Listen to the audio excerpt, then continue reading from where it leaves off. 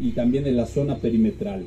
Se, también se colocaron bancas nuevas y en pocas palabras este parque quedó limpio, renovado y accesible para todos y cada uno de ustedes.